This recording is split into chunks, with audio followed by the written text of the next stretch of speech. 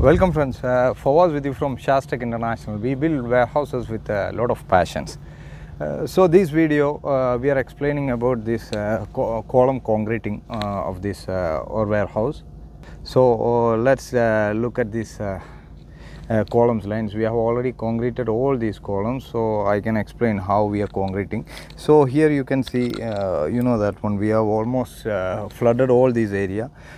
So now we remove all these uh, soils around these foundations. So then after that one survey came and he marked all this, uh, he marked these uh, uh, column positions above these uh, foundations.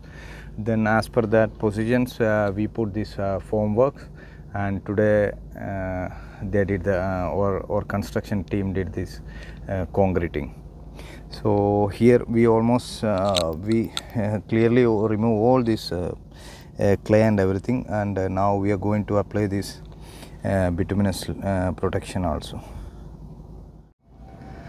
Look at these areas. Still you can see the clay. Still some some sort of dampness you can you can find it. Anyhow once these footings become dry we are going to start uh, we are going to apply this uh, bituminous protection. Almost all the footings uh, in these lines is, uh, is finished. And that means marking and uh, uh, bituminous uh, protections uh, is uh, almost finished. So it is ready to uh, put the formwork in these areas. These are the columns uh, for the pump rooms. So uh, as as usual what we did for uh, that previous uh, uh, columns we remove all the soils uh, all around the foundation all around the footings. Then we we pay, uh, we put this uh, bituminous uh, bituminous layer as a, a membrane protection.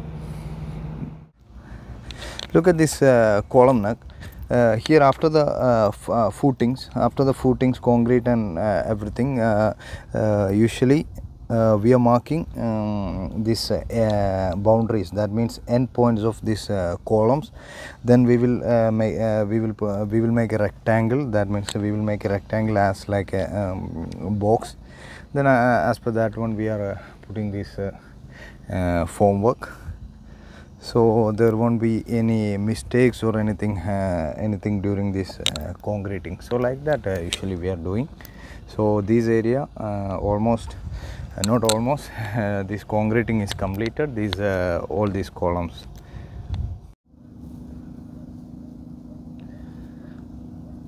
This is the inside column. Here also we marked. So tomorrow we are going to fix uh, formwork for all these uh, remaining columns. Look at these uh, footings. Actually concreting is uh, not about the not about the materials only like uh, i can say of course everyone is using uh, that k uh, for the found uh, for the footings uh, k300 like uh, standard graded src concrete and the uh, steel also as per the specification and everything. But it is not about the materials it is about the uh, process also uh, course uh, our workers uh, that means our construction team has a has a good experience in this field. So i can explain this one. Look at this uh, what we did. Here uh, with the help of the surveyor we mark all the four corners. Okay you can uh, you can see that one that marker that point. Then as per that one we mark all the four corners of this uh, column necks. Then uh, we put the uh, plywoods around that one. So um, with taking as a reference of that plywood uh, we gonna put this uh, formwork for this uh, uh, these columns. So like that uh, we are doing. So what i am trying to say it is not only about the materials it is about the process also this is a concrete pump uh, we used for uh, this column concreting uh, the concreting is almost finished so uh, they are just uh, uh, doing the cleanings and everything they are st- starting their return so that's all for today keep watching keep sharing. Thank you.